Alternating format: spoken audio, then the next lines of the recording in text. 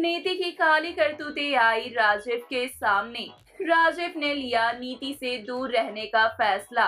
राजीव ने छोड़ा घर, नीति का हुआ बुरा हाल फूट फूट कर रोती आई नज़र। जी हाँ दरअसल हम बात कर रहे हैं कलर्स टीवी शो परिनीति की, जिसका आने वाला एपिसोड काफ़ी ज़्यादा ड्रामेटिक होने वाला है। शो के अपकमिंग ट्रैक में हम देखेंगे कि किस तरीके से राजीव और पार्वती दोनों ही कोल्ड रूम से बाहर निकल जाते हैं और दोनों की ही जान बच जाती है। जहाँ पर दोनों सही सलामत है तो वही खतरे में पड़ी नज़र आ रही है नीति। अब कहीं ना कहीं नीति ने अपने ही पैर पर कुल्हाड़ी मार ली है। नीति की चाल पूरी तरीके से उल्टी पड़ चुकी है नीति जहाँ पार्वती की जान लेना चाहती थी तो वही अब राजीव पार्वती के और भी ज़्यादा करीब आ चुका है और नीति के साथ रिश्ता तोड़ते हुए नज़र आ रहा है। यहाँ नीति की सारी सच्चाई राजीव के सामने आ चुकी है। राजीव को मालूम हो चुका है की पार्वती की जान लेने की कोशिश नीति ने ही की थी और नीति ने ही पार्वती को कोल्ड रूम में बंद किया था। और ये सब जानने के बाद राजीव पूरी तरीके से आग बबूला है और कहीं ना कहीं ये फैसला लेते हुए दिखाई पड़ रहा है कि वो अब नीति के साथ नहीं रहेगा। जहाँ पे राजीव अपना सारा सामान पैक करता है और बिना कुछ कहे